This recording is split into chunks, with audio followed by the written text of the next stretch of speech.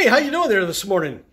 My friends, it's good to see you on this, uh, is it, Friday? Is it Friday already? Yeah, it is. Friday, November the 12th. And here we are. Thanks for stopping by. Kind of a chilly morning, 41 degrees. Going to be a decent day. I'll be a little chilly. So, uh, yeah, let's rejoice in that. Hey, November 12th, let's uh, share a little Jesus calling this morning. This is a time of abundance in your life. Your cup runneth over with blessings. Mm. After plodding uphill for many weeks, you are now traipsing through lush meadows drenched in warm sunshine. I want you to enjoy till the full this time of ease and refreshment. I delight in providing it for you. Sometimes uh, my children hesitate to receive my good gifts with open hands. Feeding feelings of false guilt creep in, telling them they don't deserve to be so richly blessed. This is nonsense thinking, because no one deserves anything from me. My kingdom is not about earning and deserving, it's about believing and receiving. When a child of mine balks at receiving my gifts, I am deeply grieved. When you receive my abundant blessings with a grateful heart, I rejoice. My pleasure in giving and your pleasure in receiving flow together in joyous harmony.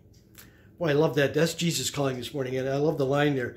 My kingdom is not about earning and deserving, it is about believing and receiving. Be a believer and a receiver uh, today. Wow, that really that that one speaks volumes. Now listen, I'm going to share a little something else with you here from the uh, the Kindle that I read last night. This is a good. This is from Acts of the Apostles. Okay, when Simon saw that the Spirit was given when the apostles laid their hands on people, he offered them money to buy this power. Acts chapter 8. Poor Simon, right? He was too far from understanding the, the concept of faith. Um, the Spirit lives within you through repentance of your sin and asking of uh, forgiveness, right?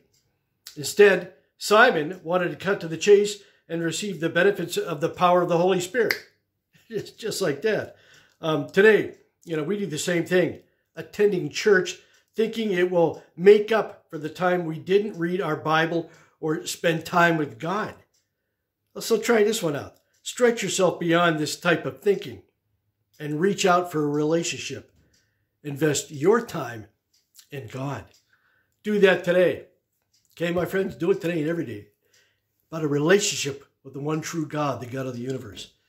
Okay, go and make it a great and blessed day. Pray for each other, like I always ask you to do. Pray for each other. Give a smile away today and know that God loves you, and so do I.